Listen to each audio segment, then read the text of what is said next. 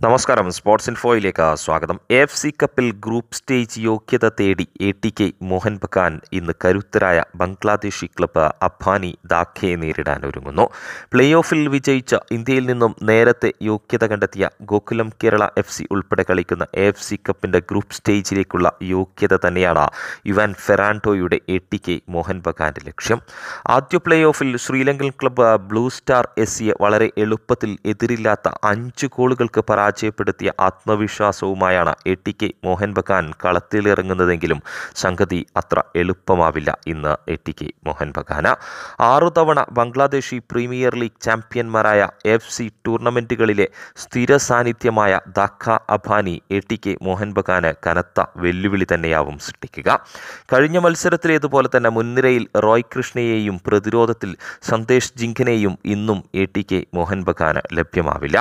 Johnny Kauko Hugo Boumous സഖ്യത്തിലാവും A T K Mohan ബഗാന്റെ പ്രതീക്ഷ മുഴുവൻ.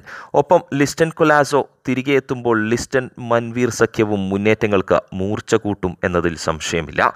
മറുവശത്ത് മികച്ച ബംഗ്ലാദേശി ദേശീയ ടീമംഗങ്ങളും മികച്ച വിദേശ താരങ്ങളും ഒക്കെ അണിനിരക്കുമ്പോൾ പ്രധാന താരം രണ്ടായിരത്തി പതിനെട്ടിൽ ചെന്നൈയിൻ എഫ് സിയെ കിരീട നേട്ടത്തിലെത്തിച്ച ബ്രസീലിയൻ മധ്യനിര താരം റഫേൽ അഗസ്റ്റോ തന്നെയാണ്.